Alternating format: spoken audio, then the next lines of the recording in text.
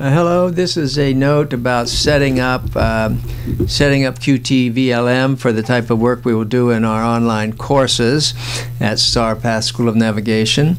And uh, in this video, I'm not discussing the actual functionality of any of these buttons or links. I'm just uh, talking about ways to just just a little overview, sort of a walkabout here of the program. There'll probably be two or three of these, or maybe 10 minutes each, uh, just as a discussion to get set up, and then we'll go on from we'll go on from there. This is a way uh, with with we've got all kinds of special videos on the different functionalities, but this is a way the program is first installed. This is a clean clean install with nothing going on here. Uh, then, um, so the boat ends up in France, reasonably enough. It's a French program. And then you can zoom out this way, or you can hit this one to one button, is a very nice button that brings you out to the globe. What we see first, or at least one thing that struck me, is this is a terminator here between this is sun, this is sunset here, or dark darkness here, moving this, getting darker, going this way right now. Now that's a very handy thing to look at, but it may be distracting or making your picture darker. So I would go up up here to the menu view and then show and hide and you can shut that off. Show night zones we'll just shut that off. There's lots and lots of functionality in the program and that's why we'll just go through and look at some of the things we might set up that makes the uh, the program look a little more uh, directly for us. By the way it looks like I've already shut something off. When you first turn the program on these instruments will be lined across the bottom here and we're going to use those later in the course but right now we don't need to have them taking up the screen. And that's this blue button up here, instruments on the map. This, this, this we're going to get rid of completely. That's for uh, making large meters for uh, like an iPad and a smaller boat or an iPhone. Um, and so let's get started here. So the way we interact with a program is there's three ways. You have the toolbar. This set of uh, icons along here is called a toolbar. These determines the type of charts. There's uh, online charts, a raster charts, vector charts, uh, and this. Uh, oh, and I've got one missing. The, actually, when you first turn this on, there's a one missing here. There's an M up here, I think. We'll look in a minute because I'm gonna we're going to go in and shut those off anyway. Um, uh, and there's different types of charts, and then there's these various controls. So let's look at how to maybe minimize what we see here for at least for the time being. And we've already shut off these instruments. So let's go here. Oh, and one thing, let me another just a tangent here.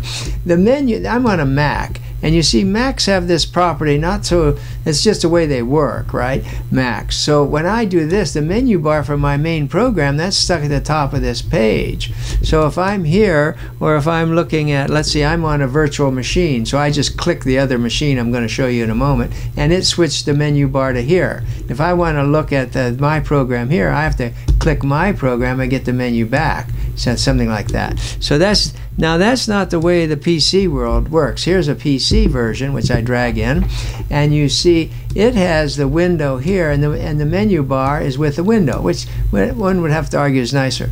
Up here, this button here when the the main configuration or preferences are set up, this is like your main the main place you do most of your setup. They call it configuration. Is you could do Alt X keys to get it going, Alt X, and it's at the bottom of the of the link here. And uh, so if I do Alt X, do I see it here on this machine? Yeah, and it looks like that.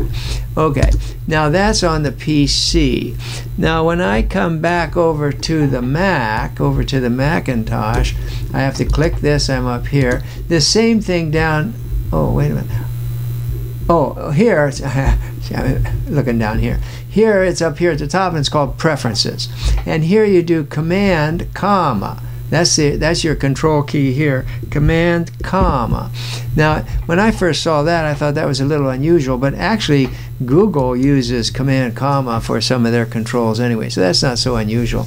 It it doesn't matter. We have other ways to get to there, but that's our main workhorse screen. In fact, we're going to go back there now and start and we're going to preferences and then here is the appearance we're not we can come back to that maybe if we have time on this one but I want to go to the toolbar here.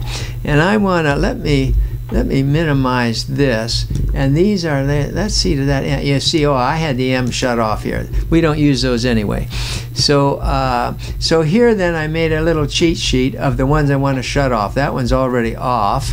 And we're, this is another type of global training chart that's really popular throughout the world. And we'll look at those later in the course. And we're, and we're not going to use this light mode. And we're not using these big instruments over here. What do we got? This is redundant in the sense a lot of these buttons we can we have very good controls on the in the um, we can do them with the key uh, with the um, right click and so forth. And go to here. This is a powerful tool too that we'll use later in the course. Like uh, the, turning on and off the AIS this program has a very nice feature of being able to show us live AIS while we're doing our simulated uh, practice of uh, uh, following routes interacting with traffic doing things like that. And then we'll use these. But for right now we don't need them let's see this is for uh, animating weather grid files of weather but we step through those by hand and the currents and so forth. We we don't we can animate those by hand.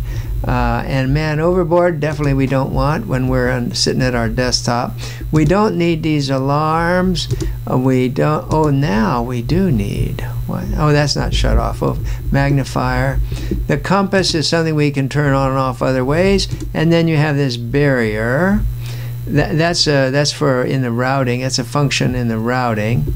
Okay, so these are the ones. So we're done then. Let's go back. Oh, okay. Now, now something important about the program and talking about it. You see, I have to pull this down. Every time you make controls in this in this panel up here in the configuration, you got to be sure to set OK, right? And then now you see our menu bar is cleaned up. It's it's just a little small. Now we're going to use this is like you, how, you, how you turn on a raster chart like that. Oh, and there are the charts here. You can see them barely. Now, there's various tricks, and we're going to learn this. One is you could use this button here, and then just draw a little circle like that, and then right click it and say zoom on selection. Or you can also hold the command button down and just do this and do it automatically like that. And then we're looking at the at the raster charts which looks like they're for some reason taking a minute just to focus. Uh, and now we've got then the vec. If we want to shut them off, and then we can look at the vector charts like that of the area. So that's how you turn uh, turn the charts uh, turn the charts on and off. Um, let's see the status bar is where down here at the bottom on the status bar is where you read the latitude and longitude of the cursor and the distance from the boat. You see here's another factor. The boat's in France somewhere. So let's right click and move the boat here.